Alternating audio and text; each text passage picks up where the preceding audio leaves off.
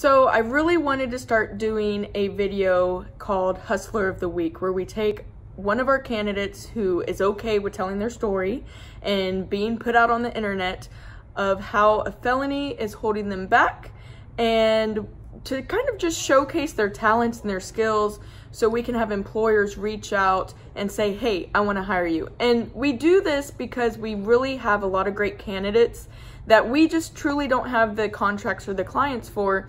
So we want to offer up to anybody who sees one of our hustlers of the week, no strings attached, no fees, just reach out if you want to hire them, then go for it. Um, this guy, Scott, sitting next to me, very, very, very interesting story. He actually is a year and a half in recovery and he had a DWI that caused bodily injury. So that automatically makes it a felony.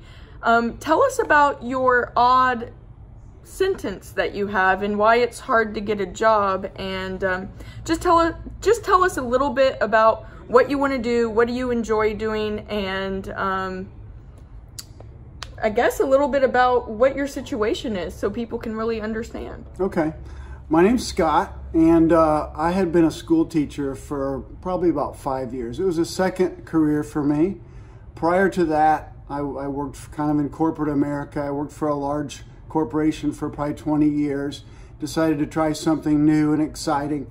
And uh, during uh, the five years that I was a teacher, uh, my drinking uh, increased. It's uh, I'm an alcoholic, and it is a progressive disease. And sometimes that takes months, sometimes that takes years to happen. Uh, anywho, during a uh, school break over the Christmas holiday, I drank. And uh, I drank quite a bit the day after Christmas by myself and uh, had the great idea of driving across the street, driving across the street to buy more beer. And I pulled out in front of a woman in a smart car uh, the accident broke her one of her legs uh, in a few in a few places, and uh, I was hauled in to to jail. And uh, for the next year and a half, I waited for my sentence. Uh, my sentence was could have been, could have been very difficult. could have could have been an eight year penitentiary situation because of the four people that I had speak on my behalf, my, my sponsor, a fellow teacher, uh, retired uh, a, case, a case manager that used to be a Dallas cop for 30 years. They all spoke in my behalf.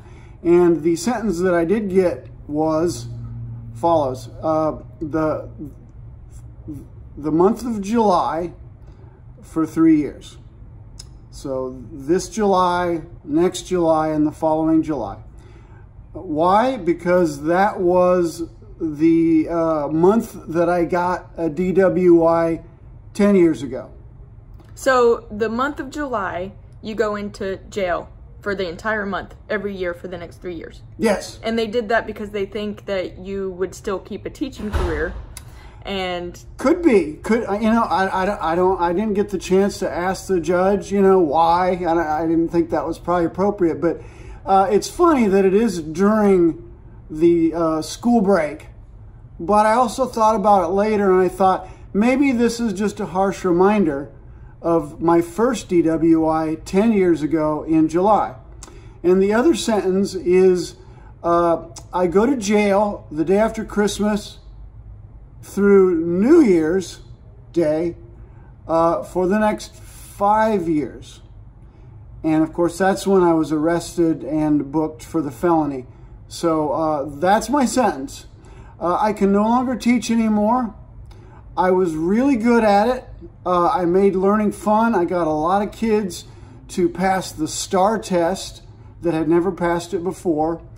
And um, I cannot teach, even with a uh, third degree felony. I cannot teach. I can't even really tutor. So I would say that a really great position for you, especially because you're in recovery and being in recovery, you want to help others. Mm -hmm. I know that myself. So I would think like a case manager for a sober living home or something would be a great position for you. Mm-hmm. So the reason why we make these videos is because I just want to quickly, once a week, have a way to put out people's stories and what their skills are, what their situation is, and maybe, just maybe there's somebody out there on my LinkedIn or on my Facebook that says, you know what, I want to give that guy a chance. I want to hire him. Like I said, no strings attached, no fees. You don't have to go through Cornbread Hustle. They stay in our community anyway. We do a lot of fun stuff together, and you guys just take them and do something with them and make a happy life and a win-win for everybody. So, with that being said, this is Scott. I'm Sherry. He is our first Cornbread Hustler of the Week. We're excited to put out more, and I'm excited to see what kind of opportunities we can get for you, Scott. One last thing I want to point out is I've been successful for decades building relationships, whether that be in wholesale,